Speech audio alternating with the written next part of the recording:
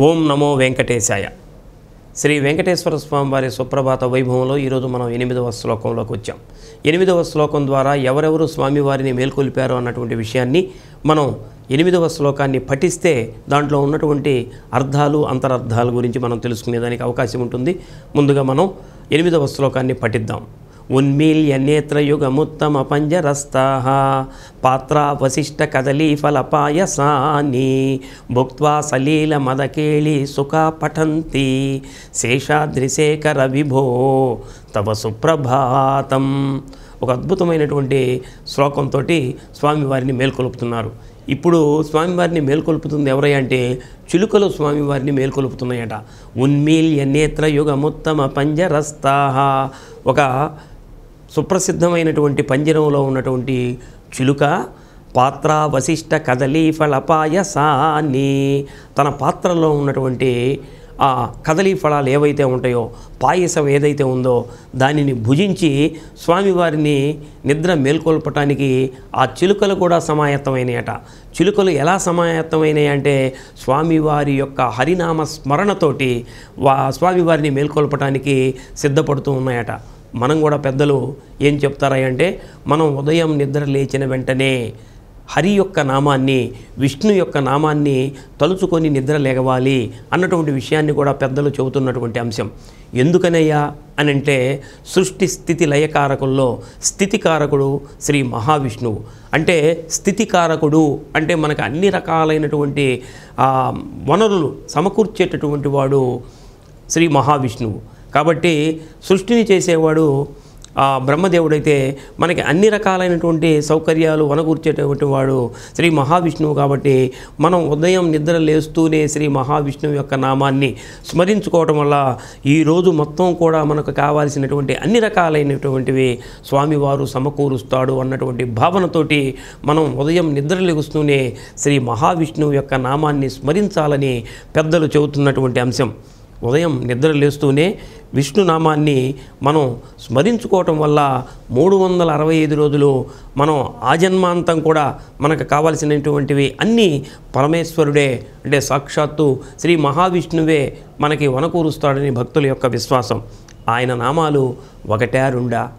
సహస్రనామాలు. ఆ సహస్రనామాల్లో వాటి ఆయనకి ఇష్టమైనటువంటి నామాలు కూడా కొన్ని ఉన్నాయి. వాటిల్ని గనక మనం ఉచ్చరిస్తే స్వామివారు పులకించిపోయి మనకు కావలసినటువంటి అన్ని సౌకర్యాలు ఆయనే వనగూరుస్తాడట.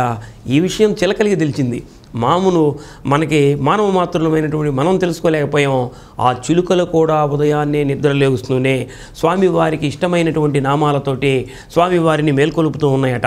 అవి కూడా ఏమని పలుకుతున్నాయో తెలుసా? నారాయణ. అని ఆ చిలుక పలుకులతోటి నారాయణ అంటున్నాయట. నారాయణ అని అంటే ఏమిటంటే నారాయణ అన్న నామాన్ని కనుక మనం ఉచ్చరించినట్లయితే మనకి భక్తి అన్నటువంటి దాహం తీరిపోతుందట. ఇది చిలుకకు తెలిసింది. ఎందుకని? నారాయణ నారము అంటే నీరు. అంటే ఆయనము అంటే నెలవు. నీటిని నెలవునిగా చేసుకొని ఉన్నటువంటి వాడు ఎవరై అంటే నారాయణుడు. అంటే మన దాహాన్ని తీర్చేటటువంటి వాడు నారాయణుడు. అంటే మన భక్తి దాహాన్ని కూడా తీర్చేటటువంటి వాడు ఎవరై అంటే నారాయణుడు. అటువంటి పవిత్రమైనటువంటి నామం నారాయణ నామం కాబట్టి ఆ నారాయణ అన్నటువంటి నామంతో మనం స్వామివారిని మేల్కొలుపుతూ ఉన్నాయి. ఆ చిలుకలు మనం కూడా స్వామివారిని తెల్లవారగానే స్వామివారిని నారాయణ నామంతో స్వామివారిని మేల్కొల్పాలి అన్నటువంటి సందేశాన్ని చిలుకల ద్వారా మనం కూడా తెలుసుకుంటున్నాం. అలానే స్వామివారికి మరొక పవిత్రమైనటువంటి నామం వాసుదేవ. ప్రపంచం మొత్తం ఆయనలోనే ఉంది కాబట్టి ఆయన్ని మనం వాసుదేవుడు అని వాసుదేవ అని స్వామివారిని మనం పిలుచుకుంటూ ఉన్నాం. ఆయన ప్రపంచంలో మనం ఉండాలని కోరుకోవాలి. ఈ ప్రపంచమే ఆయనది అంటే ఆయన ప్రపంచంలో మనం ఉండాలని కోరుకోవాలి. ఆయన ప్రపంచంలో మనం ఉన్నామనుకోండి ఆయన కృపా కటాక్ష వీక్షణాలు మన మీద నిరంతరం ఉంటాయి. కాబట్టి ఆయన ప్రపంచంలో మనం ఉండాలి. ఆయన ప్రపంచంలో మనం ఉండాలంటే వాసుదేవుడి యొక్క నామాన్ని నిరంతరం మనం పఠిస్తూ ఉండాలి. వాసుదేవ వాసుదేవ వాసుదేవ అని అంటూ ఉండగా ఆయన ప్రపంచంలోకి మనం వెళ్తాం. ఆయన ప్రపంచంలోకి మనం వెళ్తే ఆయన మనల్ని దగ్గరికి తీసుకుంటాడు. మనల్ని దగ్గరికి తీసుకొని మనకి కావలసినటువంటి అన్ని రకాలైనటువంటి ఆ సౌకర్యాలని ఆయనే కల్పిస్తాడు. అలానే ఆయన కరుణా కటాక్ష వీక్షణాలు నిరంతరం మన మీద ఉంటాయి. కాబట్టి మనం నిద్ర లేస్తూనే వాసుదేవ అన్నటువంటి నామాన్ని కూడా మనం పలకాలని చెప్పి చిలుక మనకి ఇస్తున్నటువంటి సందేశం. అలానే మాధవ. మాధవ అనంటే సాక్షాత్తు లక్ష్మీదేవికి ఆయన నాథుడు అన్నటువంటి విషయం మాధవుడు అన్నటువంటి ద్వారా మనకి తెలుస్తూ ఉంది. అంటే మా అంటే లక్ష్మీదేవి ధవుడు అంటే శ్రీదేవికి నాథుడు. సాక్షాత్తు లక్ష్మీదేవికి నాథుడు కాబట్టి అంటే ఎందుకని? ఆ లక్ష్మీదేవి సాక్షాత్తు స్వామివారి యొక్క వక్షస్థలం మీద ఉంటుంది కాబట్టి స్వామివారిని మనం గనక వేడుకుంటే సాక్షాత్తు లక్ష్మీదేవి యొక్క అనుగ్రహం కూడా మనకి లభిస్తుంది కాబట్టి ఆ చిలుకలు కూడా మాధవ మాధవ మాధవ అంటూ అవి కూడా చిలుక పలుకుల రూపంలో పలుకుతూ స్వామివారిని మేల్కొలుపుతూ ఉన్నాయట.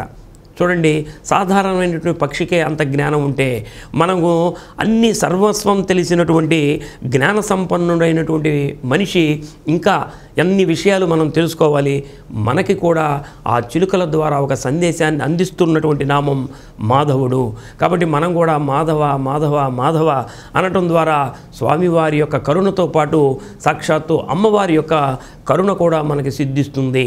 కాబట్టి ఉదయాన్నే ఇప్పుడు స్వామివారిని మేల్కొలుపుతూ ఈ ఈ శ్లోకం ద్వారా నారాయణ వాసుదేవ మాధవ అన్నటువంటి నామాలతోటి స్వామివారిని మేల్కొలుపుతూ ఉన్నారు. ఇంకొక అద్భుతమైనటువంటి నామం స్వామివారిది కేశవ.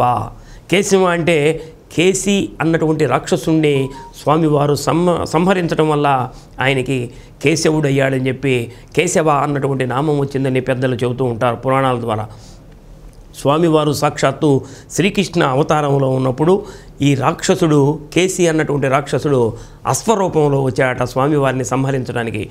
అప్పుడు దాని యొక్క ఆ నోటిని చీల్చి స్వామివారిని దానిని సంహరించాడట కృష్ణావతారంలో. అంటే దానిని సంహరించేటటువంటి సమయంలో ఆయన కేశాలు కూడా బాగా విడిపడిపోయినాయట. అట్లా ఆయన విడిపడినటువంటి ఆ కేశ సౌందర్యాన్ని చూసి కేశవ అని అన్నారని కూడా మనం ఒక అర్థం రూపంలో మనం చెప్పుకుంటూ ఉంటాం. అలానే ఆయన కేశ సౌందర్యం చూడటం కూడా మనకి ముక్తిదాయకం మోక్షదాయకం అని అంటూ ఉంటారు కాబట్టి ఆ కేశాలు అట్లా విడిపడి ఉంటే సౌందర్యానికే సౌందర్య రూపుడా స్వామి అన్నట్లు ఉన్నాడట. కాబట్టి చూడండి ఇప్పుడు స్వామివారిని మనం మేల్కొలుపుతున్నామంటే ఆయన నిద్రమత్తులో ఈ కేశాలన్నీ కూడా అటు ఇటుగా కదిలిపోయి ఉంటాయి కాబట్టి ఆ కేశ సౌందర్యాన్ని కూడా చూసి కేశవ కేశవ అని స్వామివారిని నిద్ర మేల్కొల్పుతున్నట్లు స్వామివారికి సుప్రభాతం పాడుతున్నట్లు కూడా మనకి కేశవ నామంతో ఆ చిలుకలు స్వామివారిని మేల్కొల్పుతున్నట్లు తెలుస్తుంది. ఇక పరమ పవిత్రమైనటువంటి నామం హరి అన్నటువంటి నామం. హరి అన్నటువంటి నామం ఎలాంటిది అంటే హరి అని రెండు అక్షరములు హరియించును పాతకంబులు. అంబుజనాభా హరి నీ నామ మహత్యము హరి హరి పొగడంగా వశమే హరి శ్రీకృష్ణ అన్నాడు. హరి అన్నటువంటి నామం ఎలా అంటే అంటే ఆ రెండు అక్షరాలు హరియించును పాతకములు. ఎలాంటి పాతకములు అంటే మన పాపాల రాశి బాగా పెరిగిపోయిందండి ఒక కొండలాగా. ఒక దూది కొండలాగా పెరిగిపోయింది అనుకోండి మన పాపాల రాశి. హరి అన్నటువంటి ఒక చిన్న అగ్గి రవ్వలాగా హరి అన్నటువంటి నామం అగ్గి రవ్వలాగా మారి మన పాపపు కొండ ఏదైతే రాసిందో దాన్ని ధ్వంసం చేసేటటువంటి నామం ఏమిటాయంటే హరినామం. కాబట్టి మనకి గతంలో ఉన్నటువంటి పాపాలన్నీ హరించిపోవాలంటే ఈ రోజు నుంచి మనం ఎటువంటి పాపాలు చేయకుండా సచ్చీలంగా ఉండాలంటే హరి అన్నటువంటి నామాన్ని పలకటం ద్వారా కూడా మనకి స్వామివారు ఈరోజు మన కార్యక్రమాలన్నీ కూడా దిగ్విజయం చేస్తాడనే ఉద్దేశంతో స్వామివారిని కూడా హరినామ స్మరణతోటే సుప్రభాతం పాడుతూ స్వామివారిని మేల్కొల్పుతూ ఉన్నారు. ఇక శ్రీకరుడు.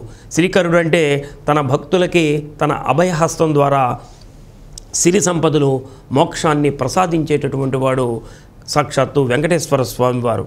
ఆయన మేల్కొంటూనే స్వామి నువ్వు మేల్కొంటూనే నీ అభయాస్తంతో నీకోసం ఎదురు చూస్తున్నటువంటి భక్త జనాలందరినీ కూడా నువ్వు ఆశీర్వదించు స్వామి శ్రీకర అంటూ స్వామివారిని మేల్కొలుపుతూ ఉన్నాడు.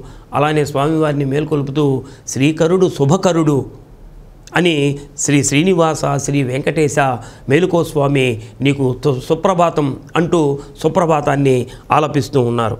ఇక కలియుగంలో స్వామివారికి అతి ఇష్టమైనటువంటి నామం గోవిందనామం.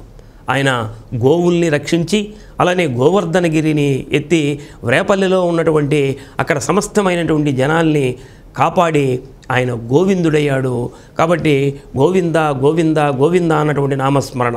ఇప్పుడు మనం తిరుమలలోకి వెళ్ళామనుకోండి స్వామివారిని దర్శనం చేసుకోవడానికి వెళ్ళేటప్పుడు ఆ క్యూ మొత్తం కూడా స్వామివారి దగ్గరికి వెళ్ళేటంత సేపు కూడా గోవింద గోవింద గోవింద అన్నటువంటి నామస్మరణతోటి స్వామివారిని మనం స్మరించుకుంటూ ఉంటాం.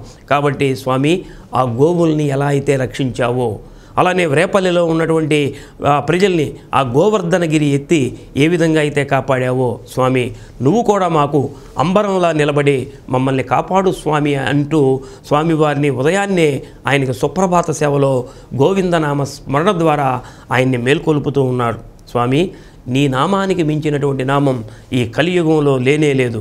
కలియుగంలో ఇంకో నామం ఉందా అంటే మాకైతే కనిపించటం లేదు. ఎందుకంటే కలో వెంకటనాయక ఈ కలియుగానికి కథానాయకుడు నువ్వే కాబట్టి నీ కింద ఉన్నటువంటి ప్రజలందరినీ రక్షించేటటువంటి నామం ఏమిటంటే నీ గోవిందనామం శ్రీహరినామం అలానే ఈ సహస్రమైనటువంటి నీ నామాలు ఉన్నాయి ఈ సహస్రమైనటువంటి నామాల్లో ఏ నామాన్ని పలికినా సరే నువ్వు మమ్మల్ని కాపాడుతూ ఉంటావు. కాబట్టి నీ నామస్మరణతోనే మా పాపాలన్నీ పటాపంచలైపోతాయి. అందుకనే స్వామి మేలుకునేటప్పుడు నిన్ను తెల్లవారుజామునే సుప్రభాత సేవలో అలానే బ్రాహ్మీ ముహూర్తంలో నిన్ను మేల్కొలుపుతూ నీ నామస్మరణే చేస్తున్నావు స్వామి. నువ్వు మేల్కొని మమ్మల్నే కాదు సమస్త జీవరాశుల్ని కూడా నీ కంటికి రెప్పలా చూడు.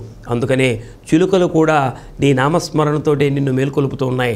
వాటితో పాటు నీకు కూడా శేషాద్రి శేఖర విభో తవ సుప్రభాతం అంటూ మేల్కొలుపుతున్నావు తండ్రి. నువ్వు మేల్కొని మమ్మల్ని అందరినీ చూసి నీ కరుణా కటాక్ష వీక్షణాలతో నీ శ్రీకరమైనటువంటి నీ అభయహస్తంతో మమ్మల్ని అందరినీ చల్లగా చూడు తండ్రి అని ఈ ఎనిమిదవ శ్లోకం ద్వారా భక్త జనులందరూ కూడా మిమ్మల్ని కోరుతూ ఉన్నారు. ఓం నమో వెంకటేశాయ.